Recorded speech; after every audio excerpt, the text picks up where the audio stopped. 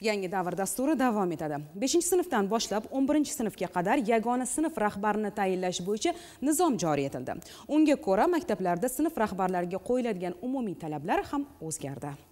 Talablarga ko'ra endilikda sinf rahbari kamida uch yillik ish stajiga ega bo'lishi hamda maktabda to'liq stavkada faoliyat olib borishi lozim.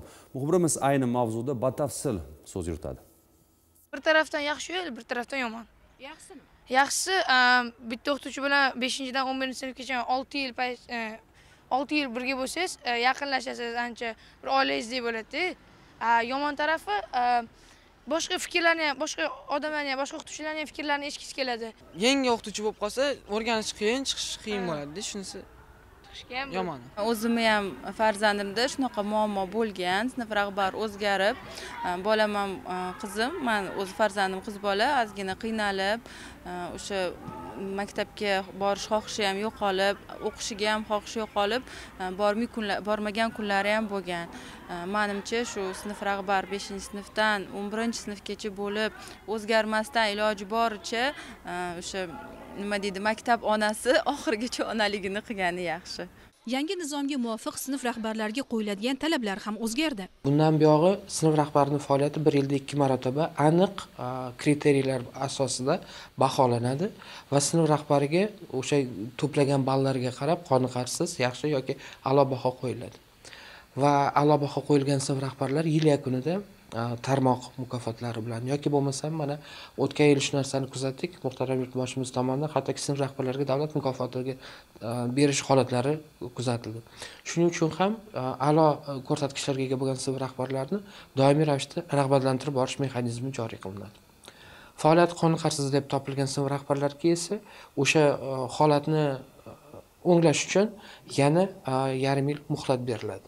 Va shundan keyin maktab direktorini buyrug'i qabul qilinadi. Bu sinf rahbarligiga qoldiriladimi yoki qoldirilmaydimi? Mutaxassislar umumta'lim maktablarida sinf rahbarligiga erkak o'qituvchilarni tayinlash mehnat tasviriy san'at hamda jismoniy tarbiya fani muallimlarini biriktirish yaxshi natija berilishi xususida ham aytib o'tishdi. Qachonki asosiy fandan dars beradigan o'qituvchilarga berilgandan so'nggina maktab rahbari kamida uch yil mehnat stajiga ega bo'lgan. Boshqaruvchanlik salohiyatiga ega. Bolalar bilan ishlashda mas'uliyat bilan qaraydigan o'quvchilar o'qituvchilar orasidan sinf rahbarlikni belgilaydi.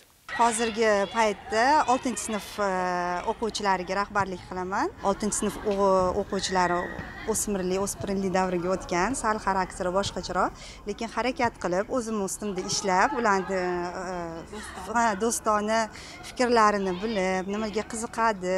Ular bilan endi nafaqat darsda darsda baribir ko'proq o'quv jarayoni bilan shug'ullanamiz. Shunga darsdan bo'sh paytda tashqariga muzeylarga teatrlarga borishga harakat qilamiz ularni fikrlarini bilib qiziqqan narsalarini o'rganishga.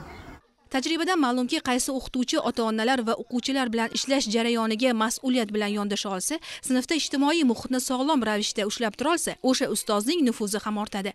O'quvchilar ishonchiga ham kira oladi. Demak bu sinf rahbarlariga ikki karra mas'uliyat degani. Kim qanday ishlashiga esa atrofdagilar baho berishadi.